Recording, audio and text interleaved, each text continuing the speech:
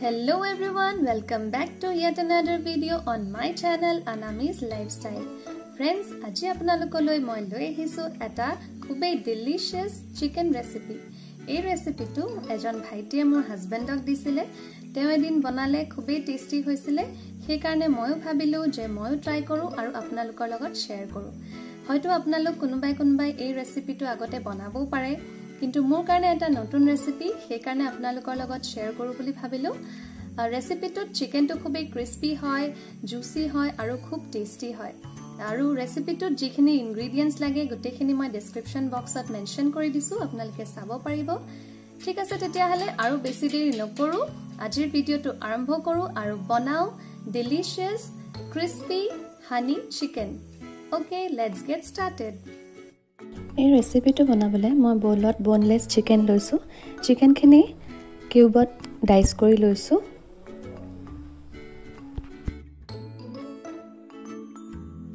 এতিয়া চিকেনখিনি মই মেৰিনেট কৰিম। মেৰিনেট কৰিবলৈ ফাৰ্ষ্টতে সৰু চামুচেৰে এচামুচ নিমখ দিছোঁ। তাৰপিছতে আধা চামুচ জালুক। এচামুচ ভিনেগাৰ।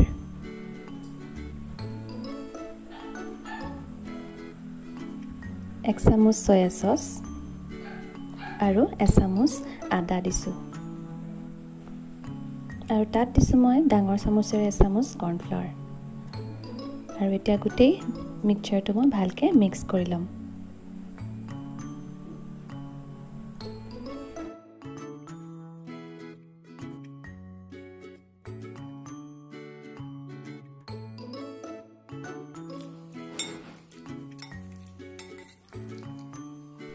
এতিয়া চিকেনখিনি মই পোন্ধৰ মিনিটমানৰ কাৰণে ফ্ৰিজত ভৰাই ৰাখিম।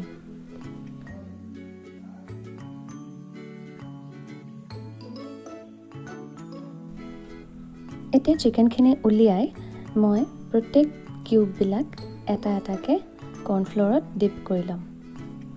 এনেকৈ কৰ্ণফ্ল'ৰত প্ৰত্যেকটো কিউব বেলেগ বেলেগকৈ কৰ্ণফ্ল'ৰত ভালকৈ মিক্স কৰি ল'ব লাগিব।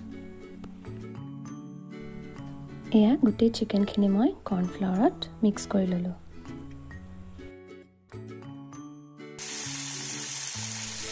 এতিয়া কেৰাহীত তেল গৰম কৰি চিকেনবিলাক মই এটুকুৰ এটুকুৰকৈ ডিপ ফ্ৰাই কৰি ল'ম।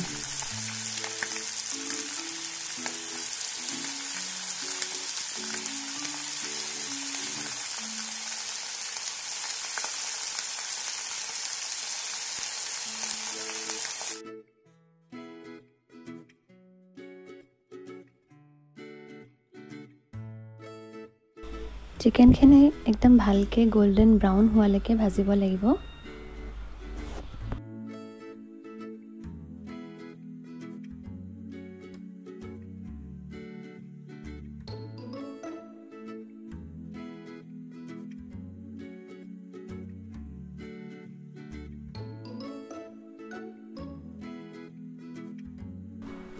এতিয়া চিকেনখিনি উলিয়াই মই টিচু পেপাৰত থৈছোঁ। তেতিয়া এক্সেছ অইলটো চ'ক কৰি ল'ব।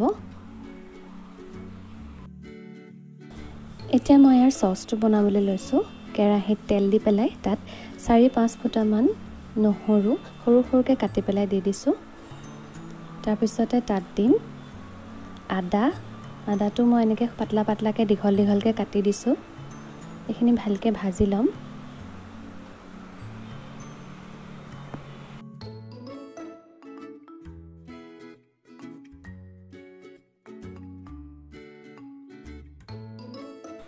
এতিয়া মই ইয়াত ডাঙৰ চামুচেৰে দুচামুচ ৰেড চিলি পেষ্ট দিছোঁ।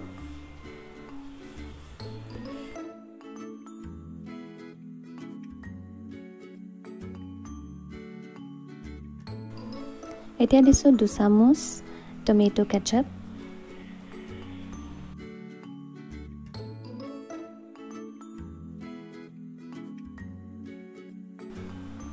আধা টিস্পুন জালুক।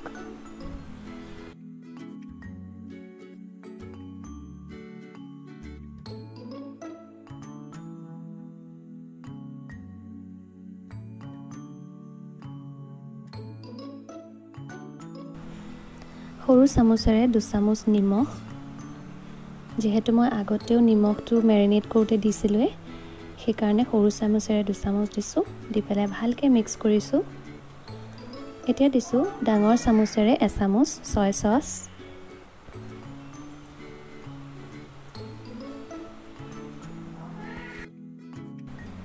চাওক ছয় চচটো দিয়াৰ পিছত ইয়াত কিমান ধুনীয়া এটা কালাৰ আহিছে।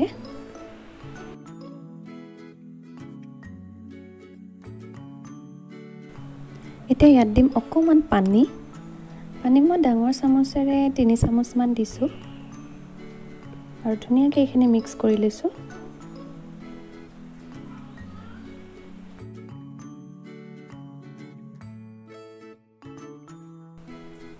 এতিয়া ইয়াত মই দি দিছোঁ চিকেনখিনি। ফ্ৰাই কৰি থোৱা চিকেনখিনি ভালকৈ ইয়াত ঢালি দিছোঁ। ঢালি পেলাই গোটেইখিনি ধুনীয়াকৈ মিক্স কৰি ল'ম যাতে চব চিকেনতে চচটো ধুনীয়াকৈ লাগি যায়।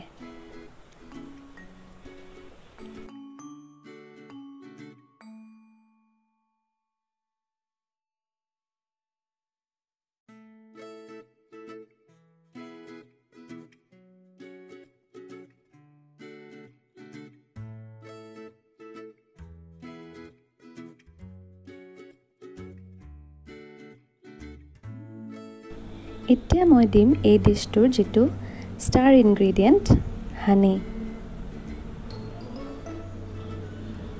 আৰু এক চামুচ ভিনেগাৰ দি পেলাই গোটেইখিনিক ধুনীয়াকৈ মিক্স কৰি ল'ম। ভিনেগাৰ নাথাকিলে নেমু চেপি দিব পৰা যায় ইয়াত।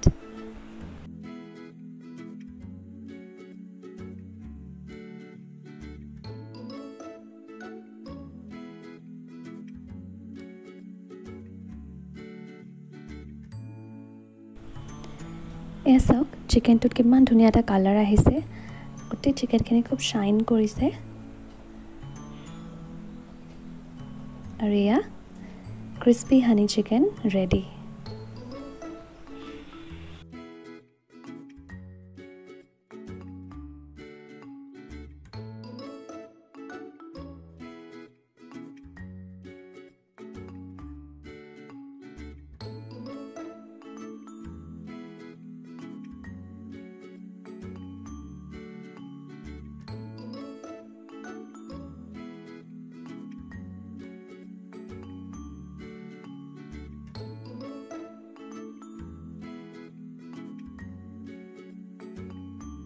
friends ডিছটো দেখাতে খুব টেষ্টি লগা নাইনে বাৰু?